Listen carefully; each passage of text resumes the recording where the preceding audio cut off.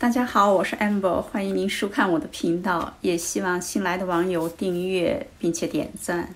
上期节目呢，我播放了我的丈夫在我的要求下，对美国两党的政治理念呢做了一些阐述。我没想到很多人呢看到以后呢，却是那样的愤怒，甚至说出了令人不堪的语言。说心里话，我真的为我们华人感到悲哀。因为正是呢，有很多的人在文章中、在媒体上大肆的这样的宣传，才导致了很多人呢执迷不悟。我之前呢也在网上呢看很多自媒体的频道，后来呢我发现他们简直都在胡说八道，所以大多数我现在都已经不看了，我只看两家媒体，他们的分析呢都是基于事实的依据，比较客观，不带个人的主观色彩。所以呢，我希望呢，我们在国外的这些华人们，我希望你们也能从中走出来，不再被他们的一些个人主观倾向所带动。我知道我们生活在美国的很多华人呢，没有很好的渠道去了解美国社会，所以我也希望呢，通过我的视频呢，能够让大家呢有更多的思考。今天呢，我就想把我昨天的一些感受呢分享出来。很多人呢对美国没有信心，认为美国呢在衰退，只有呢共和党能够呢拯救美国。我就想问问这些人：如果美国没有民主党，只有共和党的话，美国会是这个样子吗？正是有两党的互相制衡，美国呢才有今天，始终沿着它建国之初奠定的那个基石呢一直往前走。还有网友说，既然美国允许言论自由，为什么会把川普的账号、川普的一些东西呢给禁止了？因为你们实在是不太了解美国的宪法。美国的宪法呢是规定了政府呢不能够呢禁止人们的言论自由，但是呢没有限制企业。你看看那些自自媒体呀，或者是那些交流的平台呀。实际上，那都是私人的企业，因为他们知道有些人呢说话呢偏离事实依据。如果他们任由这样的谎言传播的话呢，他们会惹上官司的。所以呢，对于那些煽动性的言论或者是带有危险性的言论呢，媒体呢是有权禁止或者是关闭你的账号的。就拿我先生呢前两天呢给我讲一件事来说。因为他经常在 Facebook 上和一些网友们交流。有一天呢，他就开了一个玩笑，他就写道：“我想去杀了那些鬼魂。”就是因为他说的这句话带有呃 “kill” 杀的这个意思。虽然他是开了个玩笑，但是呢，他带于这种威胁性的词语。尽管呢，他的对象不是针对人，而是针对呢实际上不存在的那些鬼魂。但是呢，Facebook 依然呢禁止他发表这条评论，可见呢带有攻击性的或者是带有威胁性的言论呢，Facebook 禁止是有道理的。如果不禁止呢，每个人都在那胡说八道，那这个天下呢那不就乱了吗？所以那些认为呢政府在禁止言论自由的那种想法是错误的。你可以简单的思考一下，你就会明白，如果政府有这个权利的话，川普当初呢？他的权力多大？他是一个总统，他完全可以禁止这些媒体。为什么他禁止不了呢？所以我真的非常非常的为我们生活在外的这些华人们担忧。他们总是被这些胡说八道的人呢带到了阴沟里，到现在呢都还执迷不悟。有很多的现象呢非常非常的明显，但是他们还是选择相信谎言。对于那些网上攻击我丈夫的人呢，我就想说，我活了大半辈子。遇到过形形色色的人，我真的从内心深处由内而发的敬佩我的丈夫。你们认为我这是盲目的吗？我敬佩他，不是说他有钱，不是说他事业多成功，而是他内心的那种善良的美德。如果你们对这样的人都会出言不逊，我想问问你们的良心在哪里？你们认为伟大的那个人？你想一想他的人品，他能让美国再次伟大吗？简直是痴人做梦！我就不明白，为什么那么多的人不容许别人有自己的观点和看法？为什么会有那么多的人呢？对民主党人这样的仇视？我先生今天早晨呢还给我分享了一个呃新闻，他说一一个七十多岁的一个川普支持者，竟然呢无耻到那种地步，他经常把屎拉到他的那个民主党的邻居的花园里。后来呢，这个邻居实在忍无可忍了，报警把这个人给抓到监狱里头了。你说这些人愚蠢都到了什么地步？下面呢，我想我先分享我丈夫今天早晨呢发给我的一段话，这是美国的一个物理学家写的。历史上最可悲的教训之一是，如果我们被愚弄的时间足够长，我们往往会拒绝任何被愚弄的证据。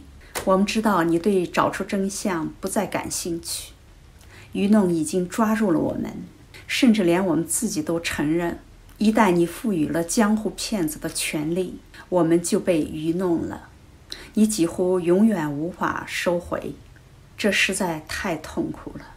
接下来，我将继续分享我丈夫昨天还没有讲完的那个话题。在此，我想再提醒大家：你是相信一个在美国受过良好的教育、具有独立思考能力的？精英说的话呢，还是相信一个半道来美国纸上谈兵的那些人的话呢？你是相信一个道德品质高尚的人的话，还是相信一个满嘴谎言的人的话呢？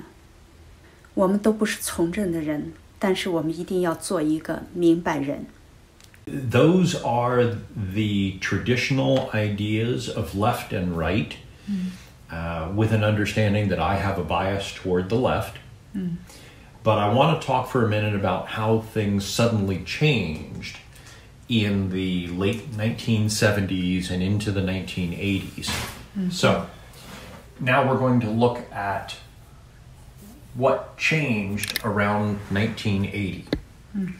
So I'm going to explain uh, some things that were added onto, on top of these ideas, especially for the right. So this is all still true, but I want to talk about what got put on top of those traditional ideas. So, uh, right before 1980, Mm-hmm. the people on the right, the Republicans, mm-hmm.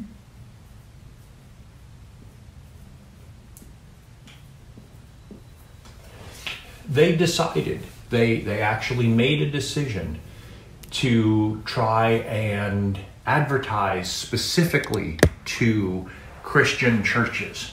Mm-hmm.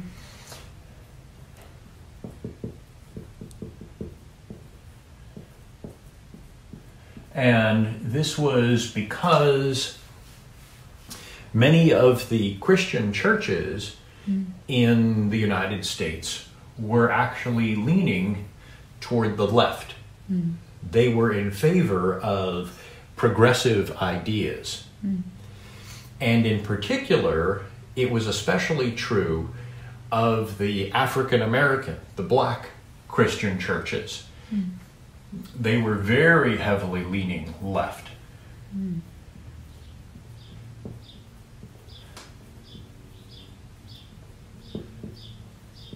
And the Republicans made a decision they mm. made a clear and definitive decision to try and turn these Christian churches, especially the African American Christian churches, mm.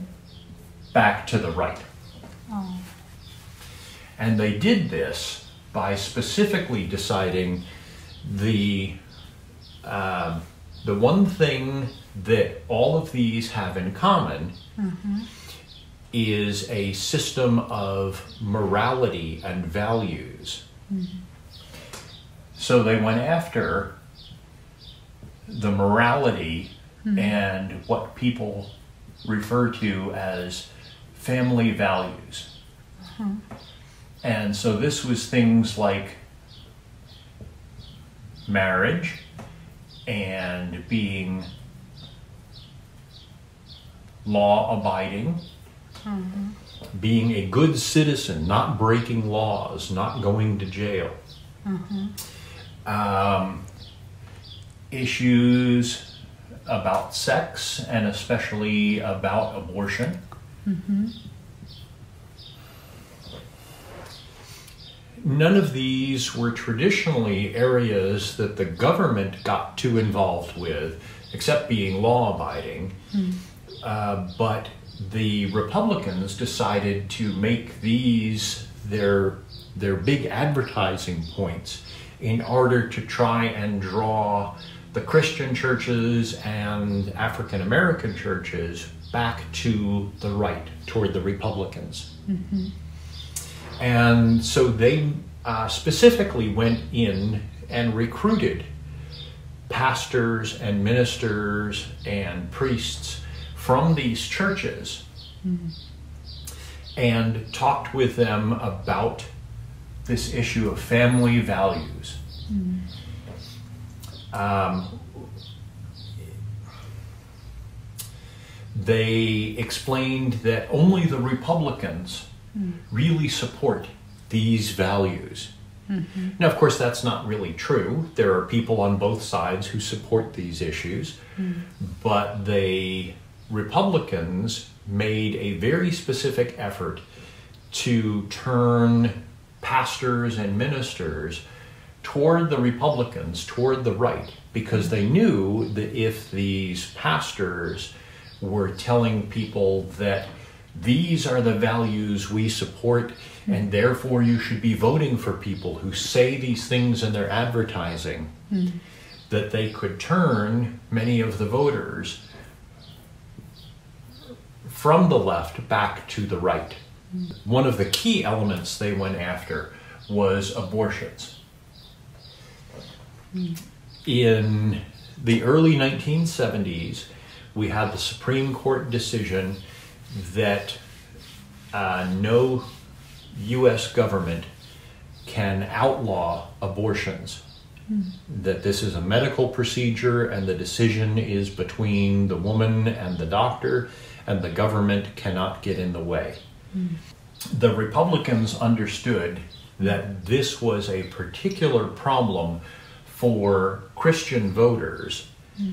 Uh, in large part because the Roman Catholic Church had always said that abortion was completely wrong, and most of the other Christian churches went along with that to some degree. But the Republicans used it specifically as an issue to advertise about, and they uh, asked the ministers if they were willing to talk about abortion as being against these family values that the church itself stood for. And they got a lot more uh, of the Christian voters to start voting Republican, even though everything else, these Christian voters, uh, these Christian church members wanted were almost all progressive ideas. Um, these Christian church voters didn't care much about businesses and corporations and uh, protection of rights for workers in a company, but they did care about these things. And the Republicans were very, very successful in getting the pastors to talk about voting in favor of these particular issues over everything else. Hmm. In fact, they made abortion a key issue for everyone to vote on. Hmm. They made it uh, what's called a test issue that no candidate who was in favor of anything to do with abortion should be allowed to hold any office from city on up to president. Hmm. And so candidates had to uh, explain, had to state whether they were completely 100% against abortion or not. And if they were not 100% against abortion, then these preachers would speak out against those candidates. That's it. And then starting in the uh, 1990s and early 2000s, the next thing that the Republicans did was they said that uh, family values are the same thing as corporate values. That anything which benefits the corporation, anything that benefits business, is part of the family values that the Christians had already become accustomed to voting for. Mm-hmm. And so nowadays you'll hear people talk about how it's not moral for the government to help employees, that it's not moral for the government to put restrictions on corporations mm-hmm. for how much they can pollute or how much they can take from workers. Mm-hmm. They have gotten people to think that somehow what benefits a business mm-hmm. is the same thing as morality. Mm-hmm. They will actually say that it's uh, immoral for the government to put any sort of restrictions whatsoever mm-hmm. on what businesses can do to either the employees or to the people who are buying their goods and services. And so now what we've got is a very strange situation where there's a lot of people in America who think that anything that is conservative, anything that is uh, sounds like it is conservative, anything which is said by someone who claims to be conservative, is by definition moral. And so anything that is conservative, any person that is conservative, anything that is from the Republicans, anything which is said by a Republican, is by definition moral. Mm-hmm. And so you have an awful lot of people who just presume that anything which is conservative is moral, and anyone who claims to be conservative is by definition supported by God. Yes. And so you'll hear people saying that the conservative candidate is endorsed by God, yeah. uh, even if that candidate does and says things which are completely contradictory to traditional Christian values, because that candidate is considered conservative, it is therefore endorsed by God. Mm-hmm. Yes.